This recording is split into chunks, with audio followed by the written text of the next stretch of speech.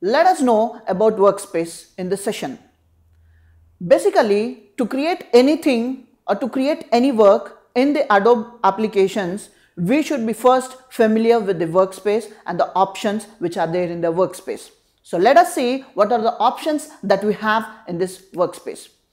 Workspace just contains different kinds of options such as option bar, toolbox, pages, colors and swatches.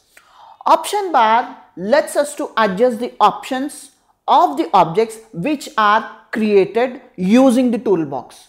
Now toolbox lets us to create or apply the colors using the tools and to adjust the objects which are created. The next one is pages. Pages are basically used to take number of pages for the work that we are going to do or even if you don't want we can delete the pages using the pages option. Colors and swatches lets us or helps us to apply the colors for the created objects. So let us drive into the practical session like what are the options that we have seen now let us see practically.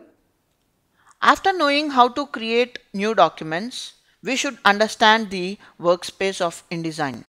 Workspace of InDesign contains toolbox, menu bar, option bar and some of the floating windows. The workspace of InDesign is user friendly and which helps us to make the work very easier by using the options, tools and menus. So about these things we will learn detailedly in the coming videos.